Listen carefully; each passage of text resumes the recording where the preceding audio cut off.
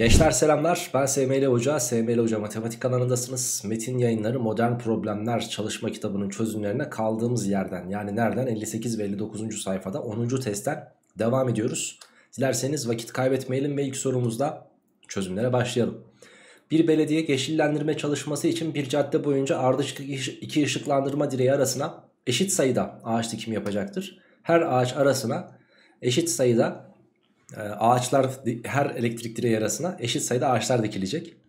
Ağaç dikimi ile alakalı olarak 3. ve 8. ışıklandırma direği arasındaki ağaç sayı. Şimdi 3 ile 8 arasında 5 tane boşluk vardır. Şöyle düşün bak. 3. buysa 4, 5, 6, 7, 8. 8. de bu. 1, 2, 3, 4, 5 tane ağaç dikilecek yer var. Her birine de x'er tane ağaç dikildiği için toplam e, bu kısımlara 5x tane ağaç dikilmiştir diyebiliriz. Dolayısıyla 5x diyelim. Ve ikinci ile beşinci ışıklandırma direkleri arasındakine de 3x tane dikilmiştir 5'ten 2'yi çıkarırsanız. Bundan 10 tane azmış.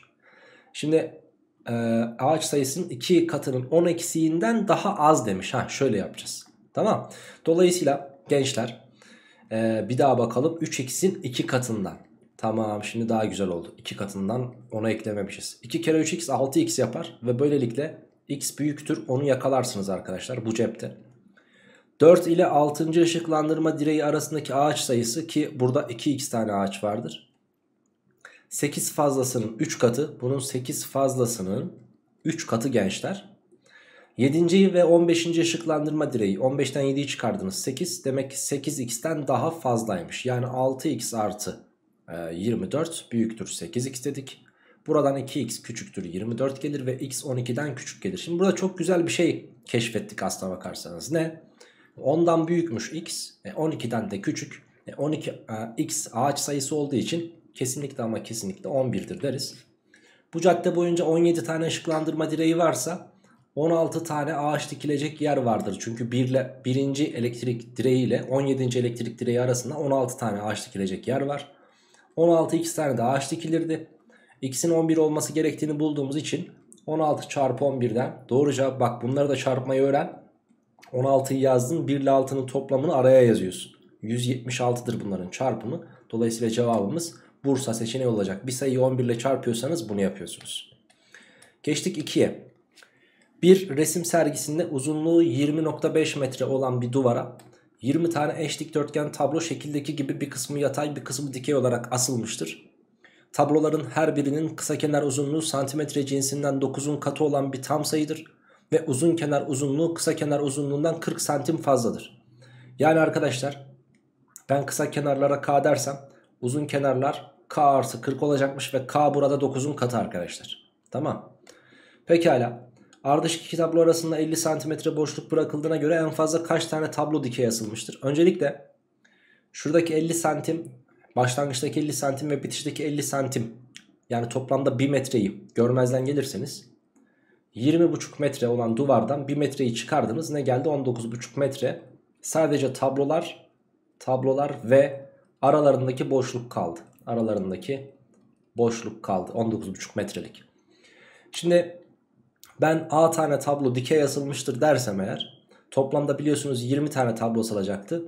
Ya da şöyle diyelim A tane şundan asıldıysa 20 eksi A tane de dikey tablo asılacak. Yatay tabloların genişlikleri k artı 40'tı. Dolayısıyla a çarpı k artı 40 tamam mı? Artı daha sonrasında k çarpı 20 eksi a. Bunlar sadece tabloların genişlikleri. 20 tane tablonun arasında 19 tane boşluk vardır. 19 tane boşluk var ve her boşluk 50 santimetreydi unutmayın. Yani yarım metre. Demek ki yarım metre ise 19'da 1 bölü 2'yi çarparsanız 19 bölü 2 yani 9,5 metrelik bir boşluk var. O halde ben bu kalan geriye 19,5'luk duvardan 9,5'luk boşlukları çıkaracak olursam 10 metre bizim tablolarımız tutuyormuş. O halde şunların toplamı 10 metre yapacak. A çarpı K artı 40A artı 20K eksi AK ki baştaki ve sondaki AK'ları gördünüz. Jort, Jort.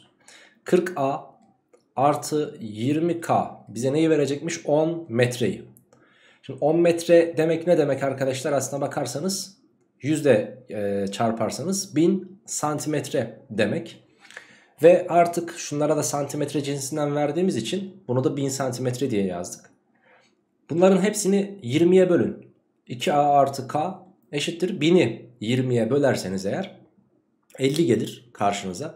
2a artı k eşittir 50 ise biz burada şimdi k ve a için bazı değerler oluşturacağız. Bir de burada a dediğimiz şey a tane ve e, 20 eksi a taneydi. Bunu da lütfen unutmayalım.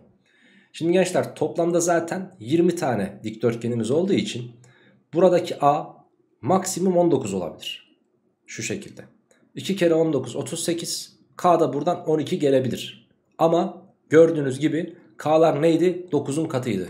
He, demek ki o zaman ben k'ları 9'un katı seçersem daha mantıklı bir iş yapmış olacağım.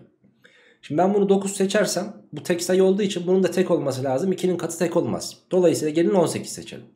Eğer K'yı 18 seçerseniz neyi sormuştu? En fazla kaç tablo dikey asılmıştır?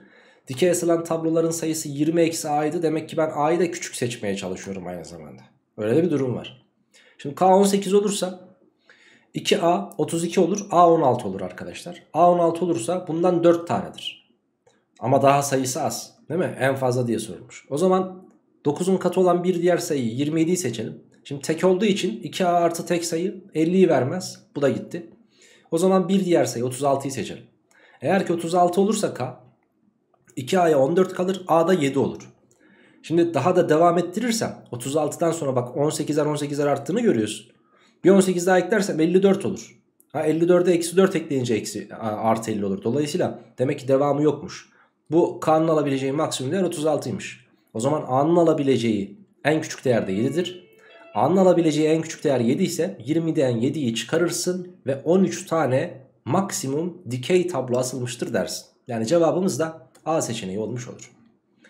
Ve devam ediyorum 3. sorumla. Eşit kalınlıkta ve zemine paralel biçimdeki raflar eşit aralıklarla duvara monte edilerek belirli bir sıra ile şekildeki gibi boyanmışlar. Boyamayı yapan kişi rafları yukarıdan aşağıya doğru dörder dörder gruplamış ve her grubu ilk dört rafla aynı rengi boyamış. Yani sarı mavi pembe yeşil sarı mavi pembe yeşil biçiminde. 1 ve 3 nolu raflar arasındaki mesafe 22 santimetreymiş. Şimdi 1 ile 3 arasında sadece bir tane raf var. Bu rafın uzunluğuna R diyelim. 2 tane de boşluk var. B ve B diyelim. Yani 2B artı R eşittir 33'müş gençler. Tamam mı? Pardon 22 santimetre 33 beni andı. 22 santimetreymiş. Pekala. Birbirine en yakın iki turuncu raf. Birbirine en yakın iki turuncu raf şunla şudur. Tamam mı? Ve bunlar arasında 3 tane raf vardır. Kaç tane boşluk var? 1, 2, 3, 4 tane boşluk var. 4 tane boşluk artı 3 tane rafta 46 santimetre yapıyormuş. Tamam şimdi biz işin içinden çıkabiliriz. Nasıl? Örnek veriyorum şunu 3 ile çarpalım. 6B artı 3R gelir. Bu da 66 yapar. Şimdi alttakinden üsttekini yani şundan şunu çıkarırsak 2B eşittir 20 gelir. 3R'ler gidiyor zaten.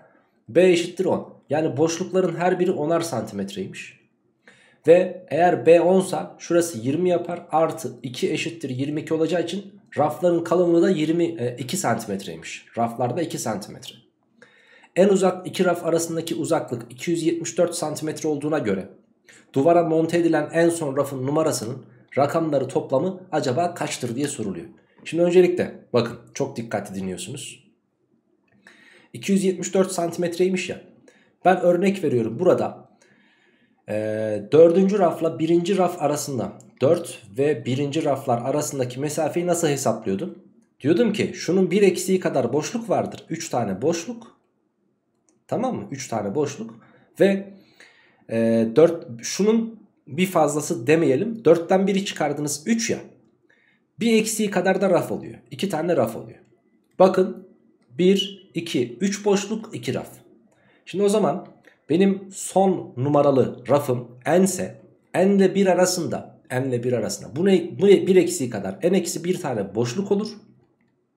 Ve neden 1'i çıkardınız n eksi 1 ya. Bunun da bir eksiği kadar raf olur. Yani n eksi 2 tane de raf olur.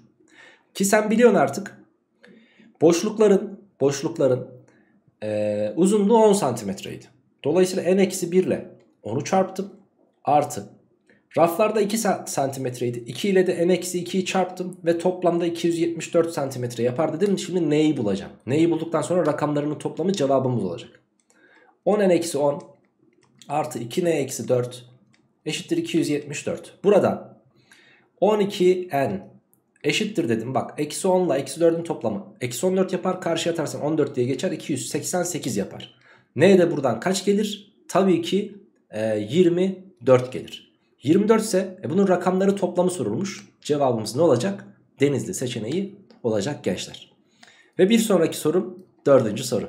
Dördüncü sorumuzda bir kafede dem ve su haznesi ayrı ayrı olan bir çay makinesiyle çaylar doldurulmakta. Her iki hazne tamamen doluyken kafedeki 20 tane özdeş bardağın her biri bardağın 1 bölü 3'ü dem 1 bölü 12'si boş. Şimdi bölü 3 ve bölü 12'yi gördük. 3 ile 12'nin ortak katı 12 olduğu için ben bir bardağa bir bardağın hacmine 12V demek istiyorum.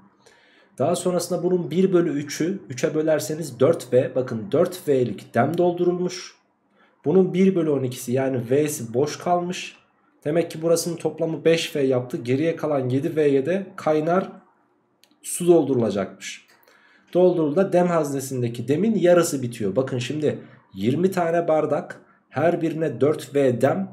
Demek ki toplam 80V dem harcandı. Ve bu demliğin yarısı. Yani o zaman bir demlik e, çay, bir demlik çay 80 ve 80 V'den 160 V'lik bir çay kapasitesine sahipmiş. Yukarıdaki gibi yapılmayıp her bardağın yarısına dem diğer yarısına kaynar su olacak biçimde en tane bardağa çay konulmuş.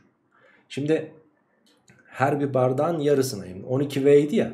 Demek ki 6 V 6 V dem konulmaya başlanmış en tane bardağa.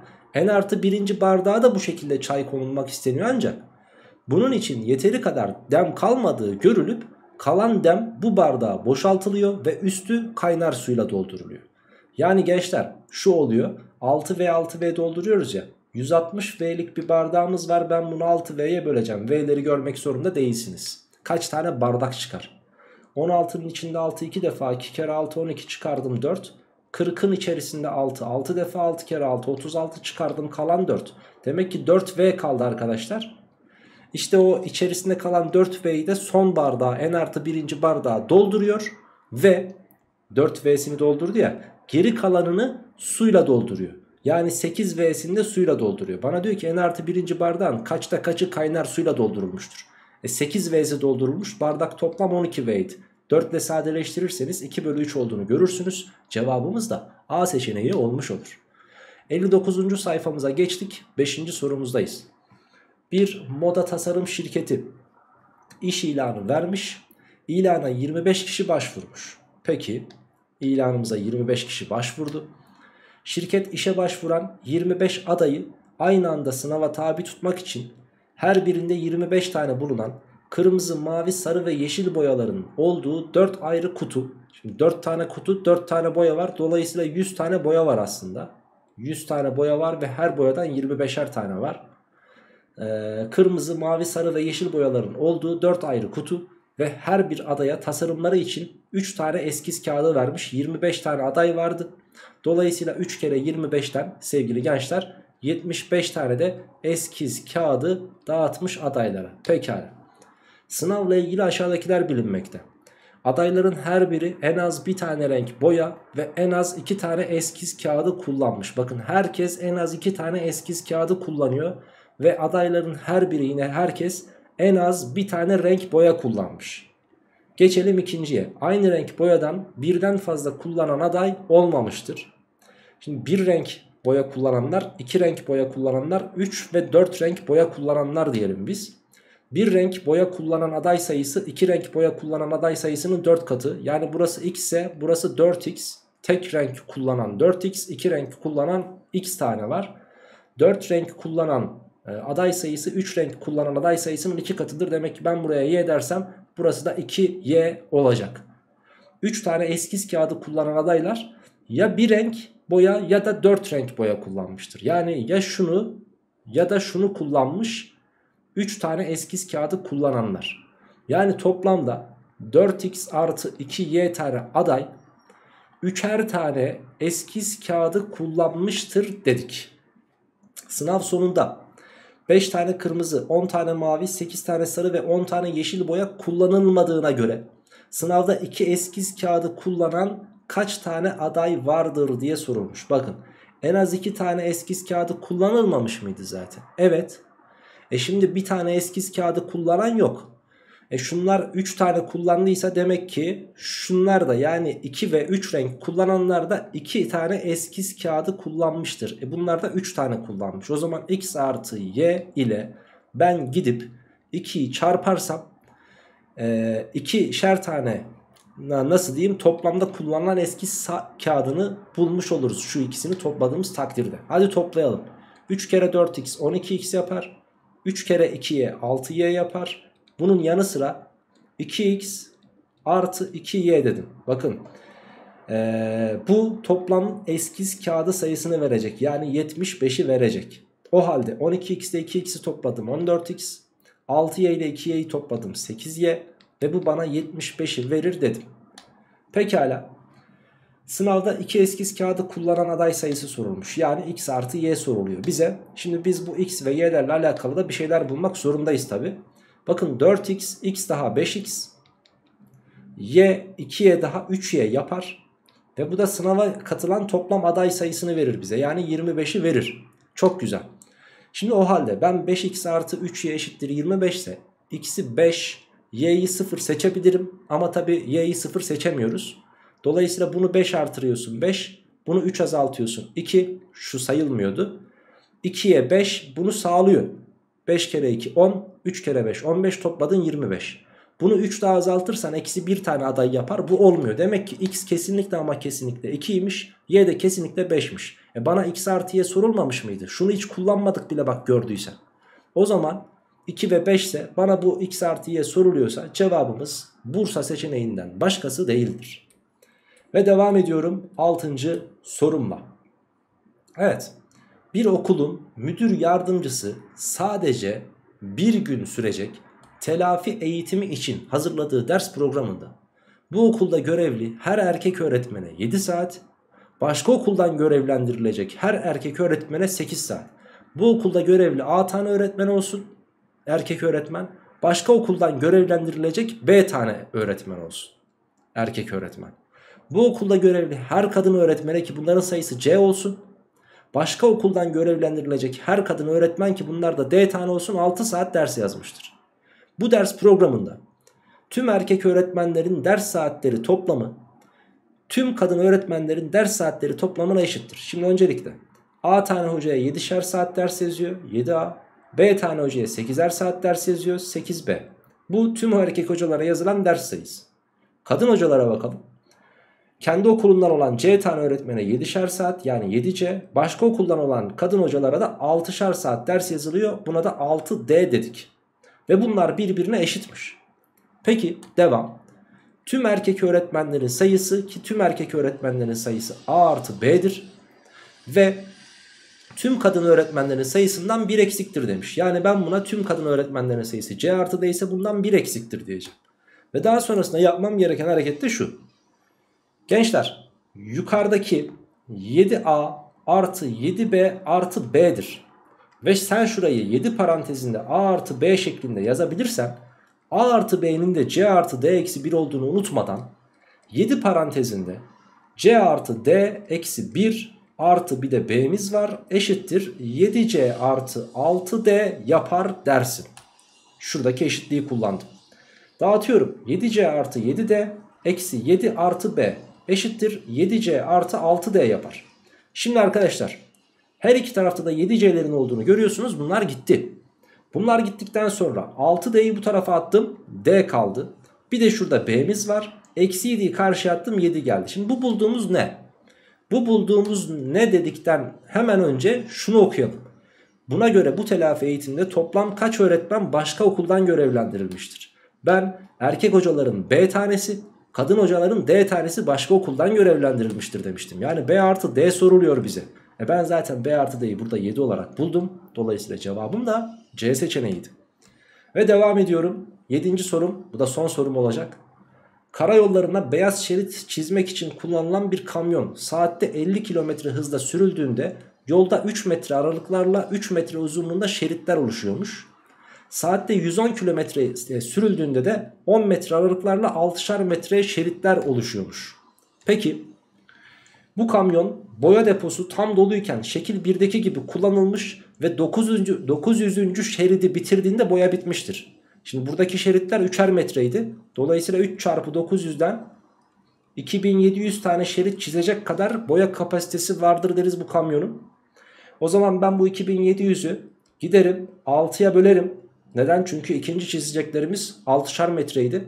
Bölersek 3'e böldüğümüzde 900 gelecekti. 6'ya böldük 450 geldi. Demek ki 450 tane sevgili arkadaşım ne çizilecek? Burada boya çizilecek.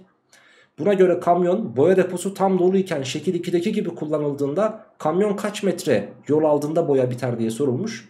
Öncelikle birinci şerit ikinci şerit arada bakın iki tane şeritin arasında bir tane boşluk var. Dolayısıyla ben diyeceğim ki 450 tane şerit vardır 449 tane de boşluk vardır. 450 şeridin uzunluğu çarpı 6 diyeceğim. 449 tane boşluk çarpı 10 diyeceğim. Çünkü her bir boşluk 10'ar metreydi. Şurası 4490 yapar. Şu kısım da 2400 artı 300'den 2700 yapıyordu zaten. Ben bu ikisini toplarsam 0, 9, 1 ve 7. 7190 benim cevabım olur. Dolayısıyla cevabımız da D seçeneğidir deriz arkadaşım. Evet videomuzun sonuna gelmiş bulunuyoruz. Diğer videoda sayfa 60 ve 61'de 11. testin çözümlerini yapacağız seninle beraber. O videoda görüşürüz. Sizleri çok seviyorum. Hoşçakalın, sağlıkla kalın ve tabii ki bol bol matematik çalışmayı da lütfen unutmayın.